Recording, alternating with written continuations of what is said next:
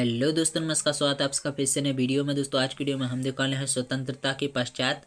दोस्तों, स्वतंत्रता के पश्चात ग्रामीण क्षेत्रों में सामाजिक संबंधों की प्रकृति में क्या परिवर्तन हुए तो चलिए दोस्तों देख लेते हैं। आप लोग वीडियो में कंटिन्यू बन रही दोस्तों, स्वतंत्रता के पश्चात ग्रामीण सामाजिक संबंधों में अनेक परिवर्तन हुए।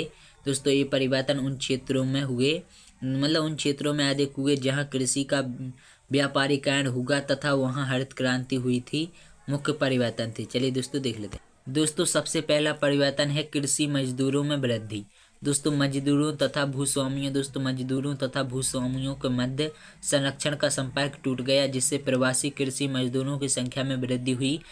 हरित क्रांति जैसे क्षेत्रों में कृषि मजदूरों की मांग बढ़ी तथा हज़ारों मजदूर अपने गाँवों में संपन्न क्षेत्रों की ओर गए और इस कांड मतलब इसका ये कांड जो मजदूरों को कार्य करने मतलब कार्य और बढ़ रहा, बढ़ा रहा था, वह था दोस्तों बहुस्तरीय व्यवसाय या अधिक कार्य करना। दोस्तों, विविध कार्य करने के कारण भी कृषि मजदूरों में वृद्धि हुई और कृषि अधिनियम के कारण भी कृषि से अनेक मजदूर जुड़े।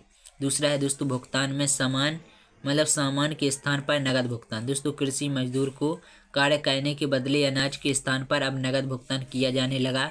कृषि के व्यापारीकरण से उत्पादन को बाज़ार में मूल्य मिलने से भुगतान भी मूल्यों में किया जाने लगा। दोस्तों, तीसरा है भूस्वामी तथा कृषि मजदूरों के पारंपरिक संबंधों में शिथिलता।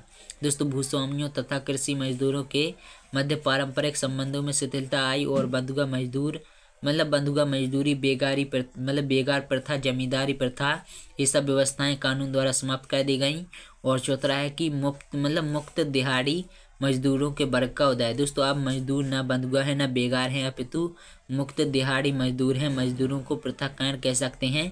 दोस्तों, यह बदलाव भी कृषि के व्यापारीकरण से हुआ है। दोस्तों, जहाँ फ़सलों का उत्पादन बाज़ार में बिक्री के लिए हुआ, मजदूरों तथा भूस्वामियों के मध्य संरक्षण का पारंपरिक संबंध टूटने से मजदूरों को स्व इच्छा से, यानी दोस्तों, अपनी इच्छा से आर्थिक संपन्न क्षेत्रों जहाँ मजदूरों की मांग अधिक थी, पलायन भी होगा दोस्तों, आशा करता हूँ आप लोग को वीडियो पसंद आएगी।